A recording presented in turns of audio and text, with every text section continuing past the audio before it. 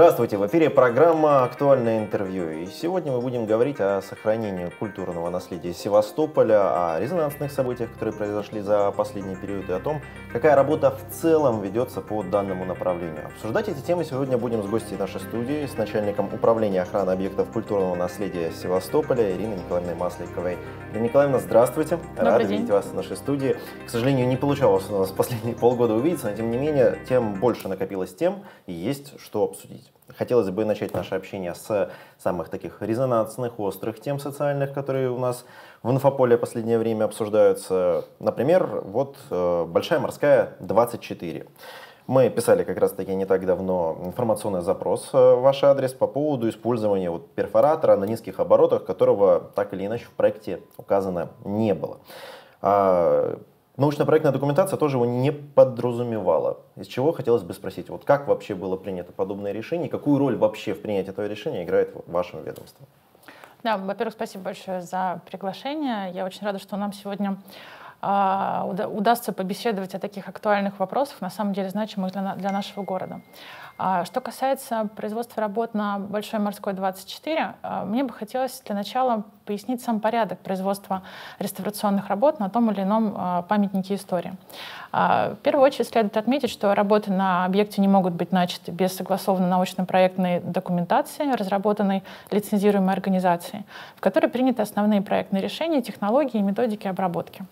А Далее на объект должна выйти лицензируемая организация, в штате которой состоят аттестованные специалисты по сфере а, направления деятельности. А, Сейчас мы делаем официальный запрос при начале производства работ и а, спрашиваем, а, кто по фамильным будет участвовать на объекте, и проверяем непосредственно при выходе на участок, на объект, а, присутствуют, присутствуют ли эти люди на месте и аттестованы они или нет. Далее обязательным по законодательству и по нашим ГОСТам является участие в процессе реставрации авторского надзора и технического. Именно авторский надзор принимает решение о том, а, соответствуют ли работы по проекту а, тем работам, которые проводятся по факту. Авторский надзор — это кто? Из кого он состоит? Авторский надзор — это а, один человек или коллектив. Э, Это люди, которые имеют соответствующую аттестацию ми- мини- мини- Министерства культуры и работают в организации, которая а, обладает лицензией а, Министерства культуры на производство работ. В ГОСТе указано, что авторским надзором должен выступать в первую очередь автор проекта. В случае, если автор проекта отказывается от авторского надзора по тем или иным причинам, может быть привлечена к производству работ иная организация. А, Как в случае вот с Большой морской, там осуществляет ав- авторский надзор не автор проекта, а иная, иная организация. Это а, севастопольские ребята, и авторский надзор, и технический, они постоянно находятся в городе, а, насколько мне известно, достаточно часто выходят на объект и оперативно реагируют на те или иные обстоятельства, которые а, обнаруживаются при производстве этих работ. Я правильно уточню здесь?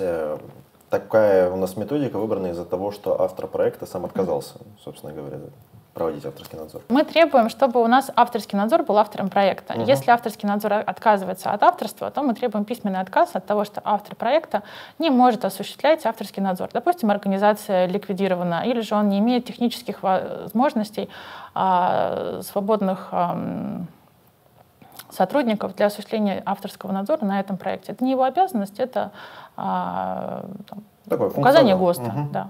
А, ну вот, э, собственно говоря, возвращаясь к моему вопросу, мы сейчас описали, собственно говоря, как идет процедура на объекте работы. А, не услышал, какова роль в данном случае как раз-таки у вашего ведомства, у Севнаследия.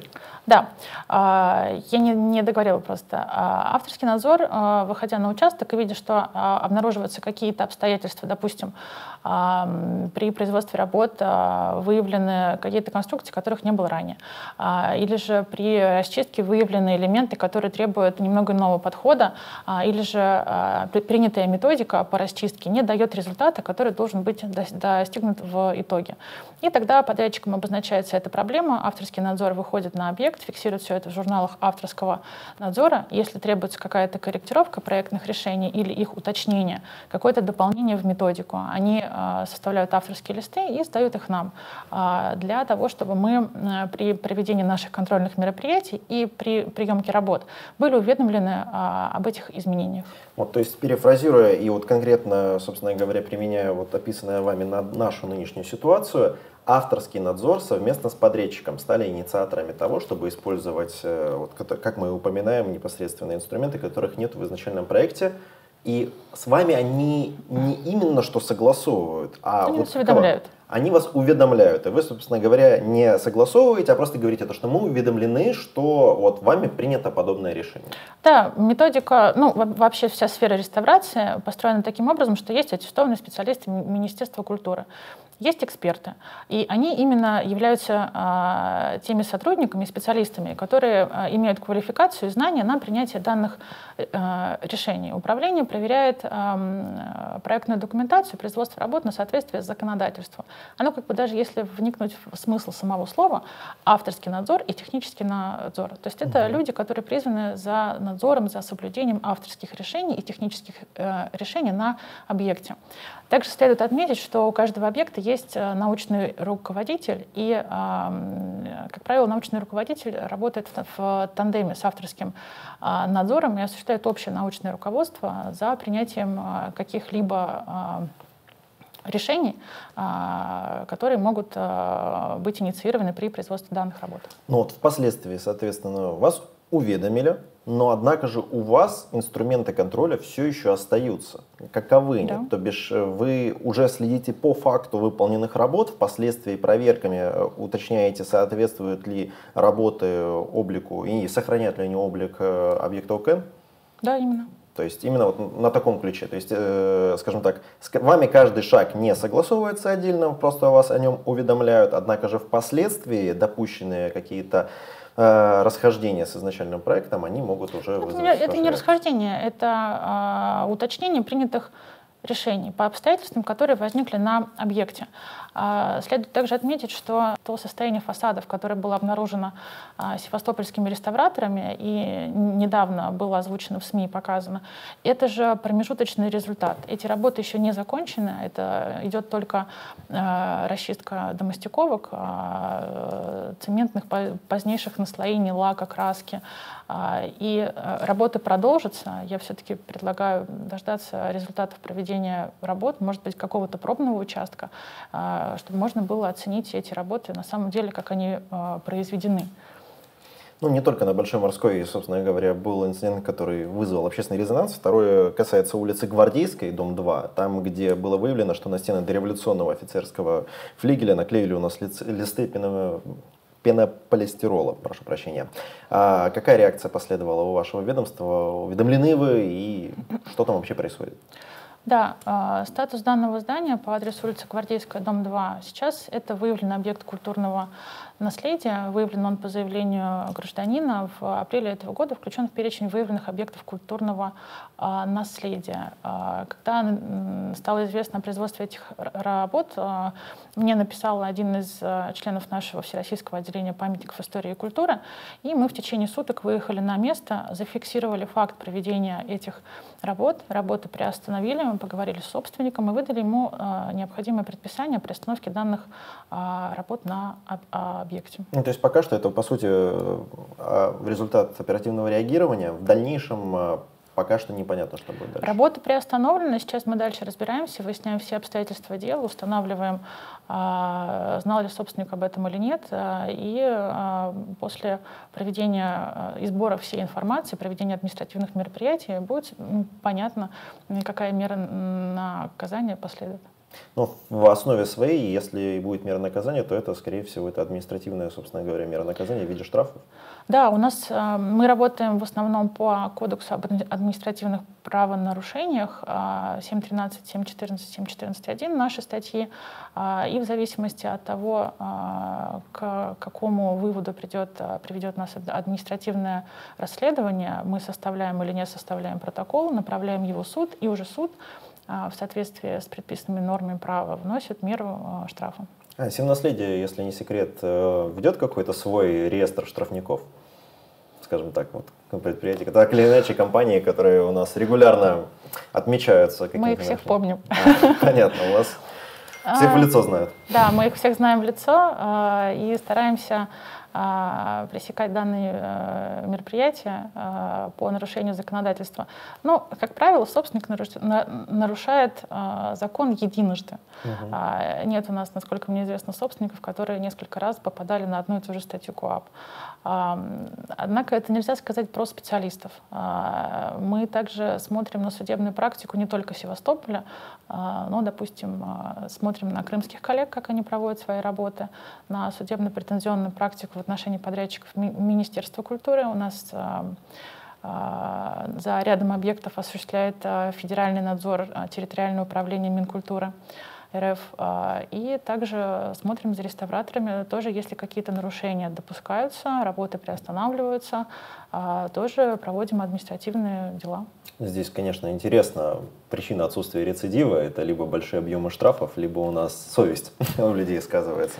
Штрафы на самом деле большие, а, достигают, а, ну, наверное, самый большой штраф по одному делу у нас в этом году был и в прошлом году около полумиллиона, но, как правило, мы а, не останавливаемся на одной статье законодательства. Если есть факты нарушения нескольких статей КОАП или же при привлечении и должностного, и юридического лица к ответственности, мы стараемся а, по максимуму а, применять эти меры, поскольку наказание должно быть ощутимым и весомым для того, чтобы а, граждане или юрлицы понимали, что проще жить по закону и соблюдать законодательство, исполнять все необходимые меры, сдавать нам все срок.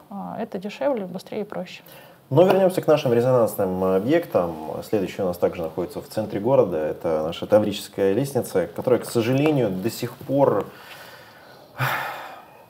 до сих пор страдает от последствий вандализма. А понятно ли, какая дальнейшая ее судьба? Возможно, в ближайшее время как раз таки начнется очередное обсуждение, как она должна выглядеть и что с ней предстоит сделать. Да, спасибо большое за вопрос. А, рада озвучить, что контракт на, рестав... на разработку научно-проектной документации а, на работы по сохранению данного объекта, то есть реставрацию Таврической лестницы, уже заключены. Заказчиком выступает а, ГБУ «Парки и скверы». 8 декабря на заседании научно-методического совета при Севнаследии рассмотрен эскизный проект по основным принципиальным решениям по данной лестнице. И после а, этого этапа а, будет доделана проектная документация. Документация пройдет государственную историко-культурную экспертизу. Акт экспертизы будет размещен на нашем сайте на 15 рабочих дней. Каждый желающий сможет ознакомиться с ним. Там будут отражены основные проектные э, решения, какой объем исследований был сделан и что будет сделано при реставрации. Э, в рамках общественного обсуждения мы собираем э, предложения от граждан и все их учитываем. Далее размещаем сводку и соглашаемся или не соглашаемся с результатами экспертизы и с, с проектом. После согласования проекта, возможно, будет начало работ по реставрации. А, насколько мне известно, эти работы а, при условии финансирования будут начаты в, след в следующем году. Заказчиком, опять-таки, будет выступать а, структура департамента гор, а Нет у нас понимания, какое, скажем так, первое полугодие, первую четверть следующего года? Потому что, к сожалению, сейчас, когда мы находимся в декабре, в следующем году это довольно, скажем так, объемное. Смотрите, проект еще э, до конца не сделан. Э, в декабре сейчас будет только эскизная часть проекта. А, таким образом, согласование будет, скорее всего, уже в следующем году. А, поэтому а, вопрос заключения контракта будет зависеть от доведения лимитов до заказчика работ. Здесь, наверное, более подробную информацию сможет дать соответствующий департамент, поскольку вопрос финансирования указанных работ ну, немного не в моей компетенции. А вот вообще роль всем наследия как раз во всем этом процессе какова? А, мы изначально неоднократно просили провести реставрацию данной лестницы. А, далее мы а, еще до этого заблаговременно были сформированы границы предмета охраны памятника. По факту предшествующих работ а, нами было сформировано задание на проведение работ по сохранению, согласовано с собственником. А, после, а, когда к нам обратились после заключения контракта, мы выдали разрешение на, на, на, на проведение исследований. Далее мы рассматриваем на заседании научно-методического совета, и после этого уже сможем согласовать проект. Угу. То есть мы на этапе до заключения контракта уже а, участвовали в этом вопросе. И в чем важна роль, это как бы не просто формальности нормы закона, а в рамках формирования заданий на проектирование мы описываем необходимый состав проекта, объем исследований и то, что нужно сделать подрядчику и собственнику обязательно при производстве этих работ. Ну, фактически это такая научно-техническая часть ТЗ, к контракту. Угу. Это необходимые условия для а, каждого контракта, для каждого собственника, кто хочет проводить а, работы по реставрации. Вот здесь не могу не спросить, еще когда только произошел этот инцидент с актом вандализма, э, Изначально же были вопросы у нас даже к департаменту городского хозяйства, какие будут предприняты меры, однако же нам тогда дали понять о том, что вся процедура, к сожалению, крайне не гибкая, если речь идет как раз-таки об объекте культурного наследия.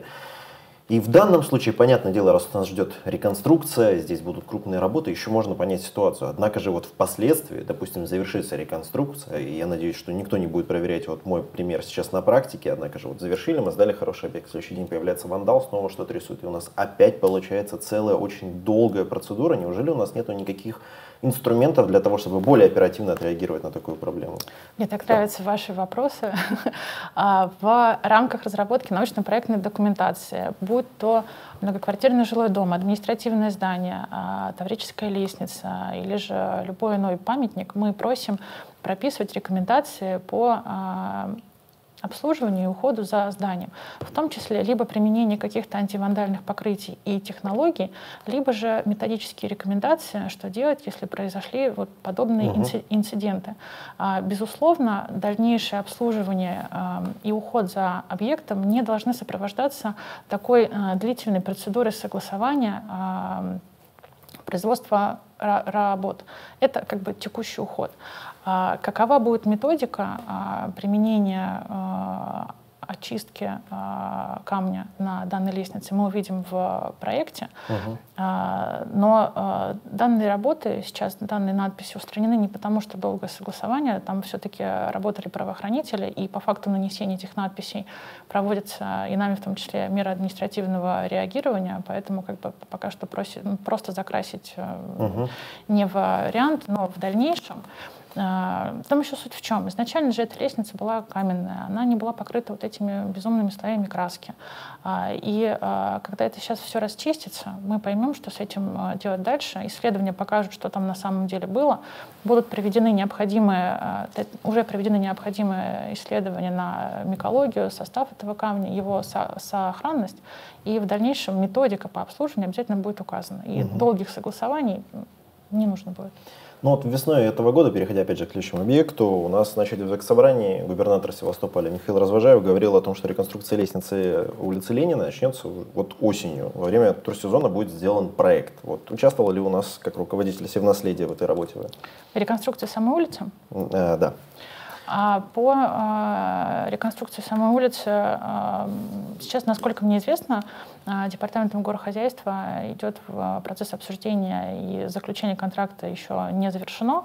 Э, мы, безусловно, на данном этапе уже участвуем в обсуждении и говорим о том, какие необходимые меры нужно сделать и что нужно учитывать при разработке проектной документации а, и проведению дальнейших а, работ. Это и необходимая норма законодательства, это и наличие памятников а, по данной улице, в том числе статус исторического поселения, безусловно, накладывает ряд ограничений, безусловно, указываем на соблюдение необходимости, на необходимость соблюдения указанных норм. Почему просто спрашиваю? Потому что когда шла реконструкция Большой морской, понятное дело, что этот проект был для Севастополя грандиозный, не побоюсь этого слова, масштабный.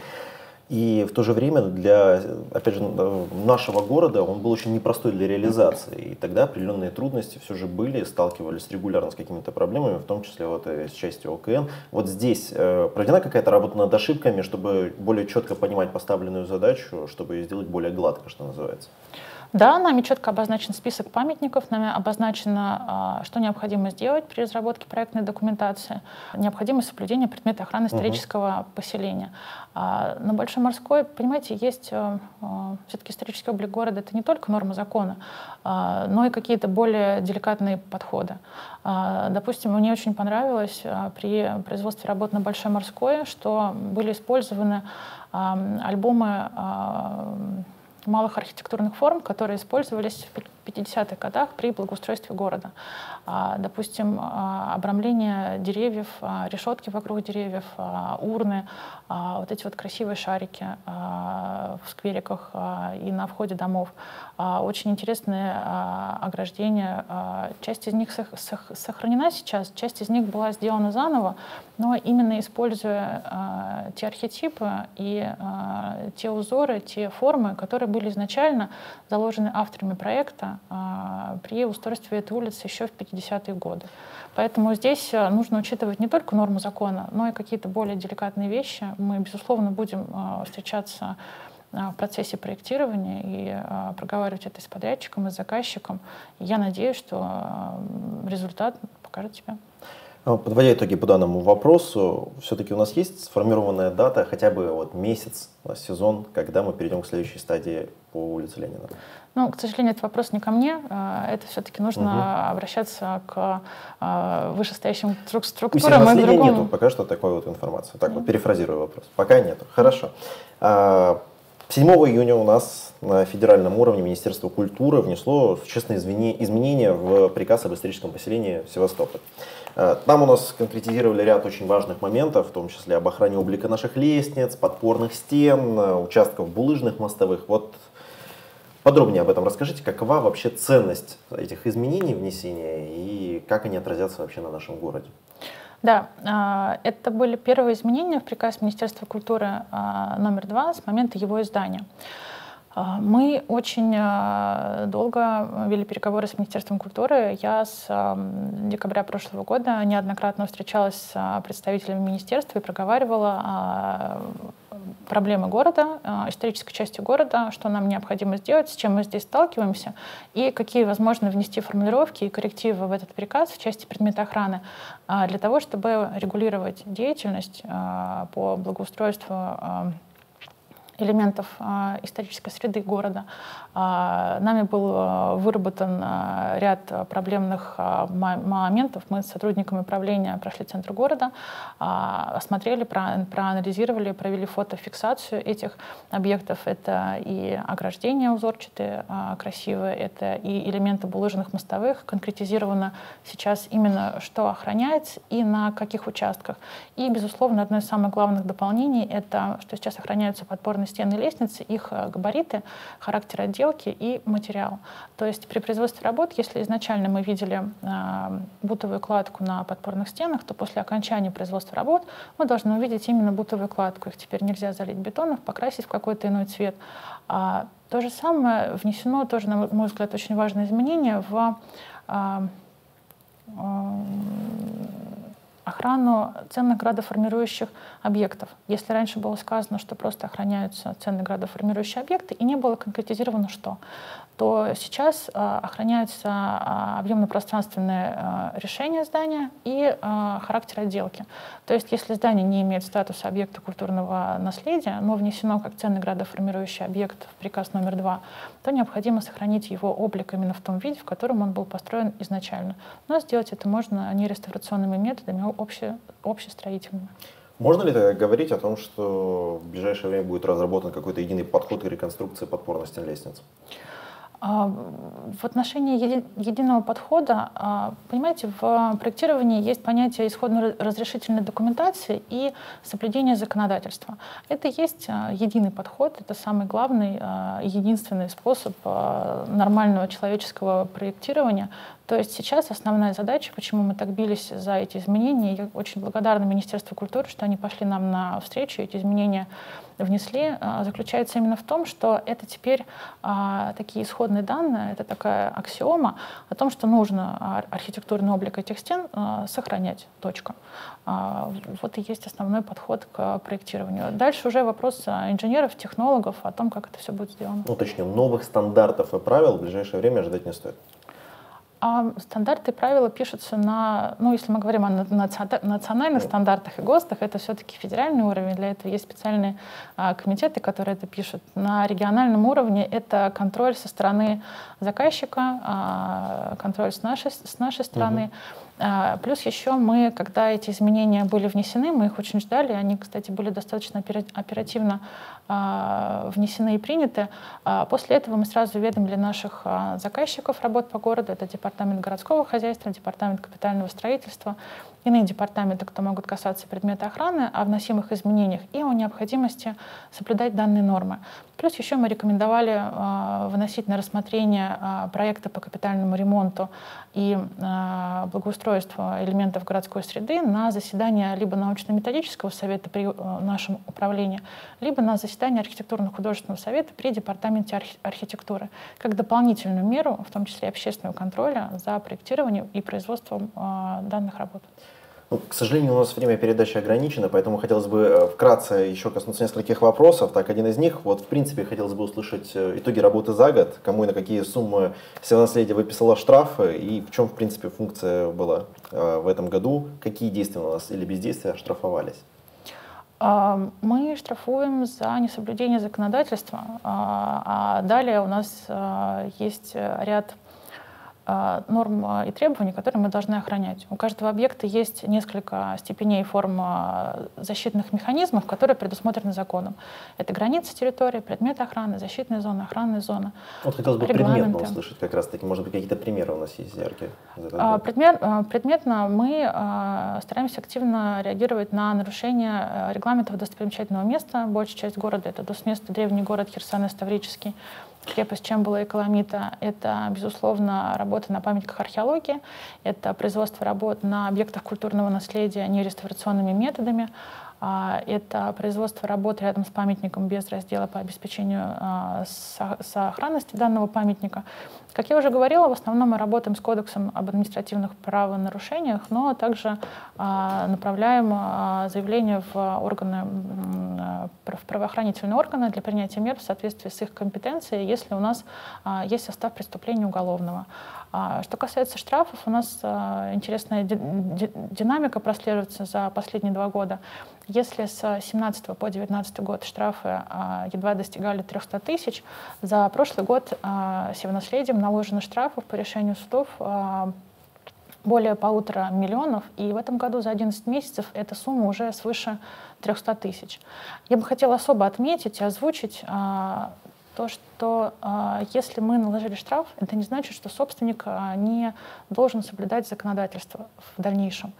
То есть как это происходит по факту? Мы вышли на объект, на участок, увидели какое-то право на нарушение, и если мы работу приостанавливаем, составляем протокол, направляем в дальнейшие материалы в суд, и суд выносит положительное решение о штрафе вне зависимости от его суммы и от э, статьи в дальнейшем, мы понуждаем, ну, точнее сразу, мы понуждаем собственника э, о э, необходимом порядке проведения работ на объекте в соответствии с законом и обязываем его это сделать. А, соответственно, получается, а, собственник, подрядчик или лицо, которое а, организовало эти работы, сначала теряют время, потому что их работы приостановлены, потом платят штраф, а потом все равно вынуждены пойти по правильному порядку. Это, как правило, долго и дорого. Так, допустим, было на памятнике Бельбек-4, где при строительстве ИЖС был поврежден культурный слой могильника Бельбек-4. Это именно тот памятник, который был озвучен на встрече с а, президентом Владимиром Владимировичем Путиным в прошлом году. А, к примеру, что там сделано, наложен штраф общей суммы сейчас на подрядчика и собственника около полумиллиона. Работы уже полтора года не ведутся. И собственник был вынужден провести археологические исследования, раскопки а, могильника. Недавно был замечательный сюжет на форпосте о результатах исследований. А, я очень надеюсь, что когда материалы будут обработаны, мы сможем посмотреть, увидеть а, более детально результат работы археологов. Ну и заключительный вопрос, который заключительный не по значению, но тем не менее хотелось бы услышать, потому как ну, общественный резонанс Севастопольский прям требует услышать ответ. По Херсонесу хотел бы узнать, какая дальнейшая судьба у нас выявленного объекта культурного наследия Южный пригород Херсонеса? А, Южный пригород Херсонеса — объект археологического наследия, который выявлен а, археологами в прошлом году а, в результате исследования территории, которая идет под парк Херсонес. Его дальнейшая судьба какова? Его дальнейшая судьба в этом году проводится исследование. Там работает комплексная научная экспедиция. В составе этой экспедиции сотрудники Эрмитажа, Херсонеса, еще ряда организаций. Это такой большой научный коллектив, который проводит там а, раскопки и на, на, наблюдения на разных участках культурного слоя в зависимости от а, сохранности.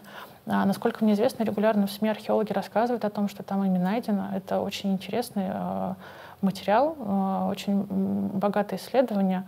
А, судьба памятника, памятник археологии, он а, изучается совершенно замечательными специалистами. Дальше, дальше на, этой, на этой территории будет историко-археологический парк.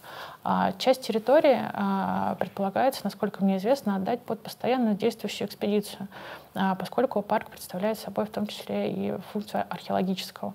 Объект будет сохранен? А что вы понимаете под сохранностью памятника? А, я имею в виду, что не просто там фотофиксация его с дальнейшим изъятием, да, а вот, возможно, музеифицирован, возможно, сохранен в другом виде. Ну, чтобы он сохранился в том виде, в котором его нашли, плюс, э, что называется, обработали, чтобы он не потерялся в веках.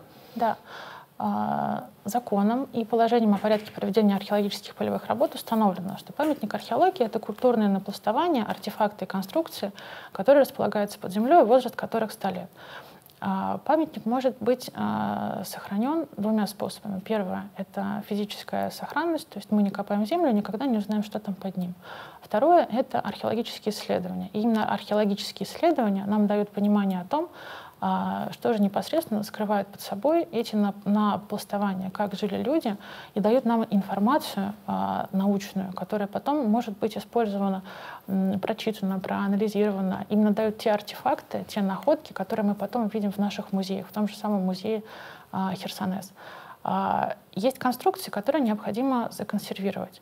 А, я, насколько понимаю, а, сейчас эти конструкции выявляются, фиксируются, и в дальнейшем будет принято решение о том, как их сохранять, консервировать и так далее. То есть пока не, нет понимания, что у нас дальше будет. Будем ли ну, мы смотреть то, идет. что мы нашли в музеях, либо же оно сохранится там, как есть? А, есть понятие находка, есть понятие археологический объект, имеется в виду конструкция. Да, да. То есть как в Херсонесе, допустим, усадьба, базилика. Вот, вот. Вот, например, Это, склепы, да, вот взять, склепы. которые, опять же, были обнаружены. Вот интересно, что с ними будет, потому что их-то в музее не поставишь как экспонат. Да, а сейчас, насколько мне известно, а, поэтому и проводятся раскопки опережающие, и это было неоднократно озвучено, что раскопки начались еще на этапе формирования концепции, чтобы была возможность а, понять, какие объекты сохранить нужно, как расположить эти здания для того, чтобы обеспечить сохранность тех или иных археологических а, объектов, конструкций, которые будут обнаружены на данном участке. Все наследие следит за процессом? Да, мы обязательно следим и будем продолжать следить за а, производством данных работ. А, там работает сейчас получен ряд открытых листов на несколько специалистов. Мы выходим на участок, смотрим, как ведутся работы. Мне самой как археологу очень интересно, я бы с радостью там сама поучаствовала. Прошу простить мою дотошность, однако же я вот услышал сейчас такую формулировку, какие объекты можно сохранить. То есть э, была формулировка такова, то есть не все можно будет сохранить. Какие объекты скорее даже нужно будет э, сохранить? Возможно, я неправильно сформулировала. Результаты исследований нам еще не представлены, экспедиция не закончена, экспедиция еще идет. А как только археологами будет понятно, какие объекты обнаружены, как, как, каково их место расположения, все это будет учтено в дальнейшем в концепции и, насколько мне известно, в проекте. А после этого мы будем уже более детально по результатам исследований отрабатывать с археологами, а, с фондом о том, что можно сохранить, э, как это сохранить, в каком месте, в каком виде. Ну, там работает такая плеяда археологов хорошая. Я очень надеюсь, что там пристально смотрят на это весь Севастополь, весь Крым, вся Россия. Угу. Посмотрим, что будет дальше. Я, может, переформулирую, чтобы самому лучше понимать. Имеется в виду, что некоторые объекты выявленные могут оказаться, что не представляют какой-то археологической ценности, да? Или что вы имеете в виду? А, решение о том, какие конструкции подлежат сохранению, а какие нет, принимается археологом. Угу. То есть у нас законодательно урегулирована статья 45.1 73 федерального закона гласит, что а, право проведения археологических полевых работ принадлежит археологу, который получил открытый лист Министерства культуры. Угу. И по этому открытому листу археолог, имея а, необходимую компетенцию, знания и разрешение от Минкульта, принимает все решения. Каким образом ему производить эти работы? Какая будет методика выбрана? Если удаляться в подробности, существует множество вариантов фиксации находок, снятия культурного Прошу, слоя и принятия нет, это Нет, он не согласовывает свои решения с вами. А, и а, по а, итогу раскопок, а, грубо говоря, мы раскопали какую-то площадь, и а, итогом производства каждых работ на участке как бы работы завершаются, когда мы достигаем такое понятие, как материк. У нас это скала. Если на скале у нас фиксируются какие-то археологические объекты, будь то склеп, будь то какие-то каменные конструкции от зданий, археолог принимает решение их сейчас законсервировать, сохранить и далее вместе с проектной организацией, которая делает проект по строительству того или иного здания принимает решение, в каком виде будет, будет сохранен объект тот или иной. Нужно ли здесь переносить здание, или можно здесь его как-то приспособить, или подвинуть, сделать его где-то в элементах благоустройства. Либо же это будет отдельная а, какая-то площадь, а, где будут экспонированы а, эти объекты для показа. Но территория там э, весьма значительная. Опять-таки я повторюсь, что опережающие исследования сейчас уже идут. Проектирование не завершено, сделана концепция. Поэтому все сейчас работают слаженно в одном режиме. Мы смотрим, регулярно встречаемся, следим за этапом производства работ, что будет сохранено, а что нет. Здесь в первую очередь первая скрипка все-таки археологу, а далее это все уже будет обсуждаться с нами, с проектировщиками, поэтому мы очень ждем опять-таки результатов исследований, которые там будут.